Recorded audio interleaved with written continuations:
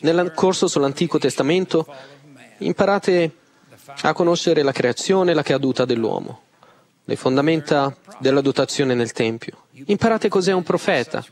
Prendete familiarità con termini come obbedienza, sacrificio, alleanza, sacerdozio di Aaron e sacerdozio di Melchizedek. La base della legge giudaico-cristiana e in vero anche di quella dell'Islam vi viene spiegata dettagliatamente. Così pure vi vengono spiegati i motivi per cui versiamo le decime e le offerte. Leggete le profezie riguardanti la venuta del Messia e la restaurazione del Vangelo.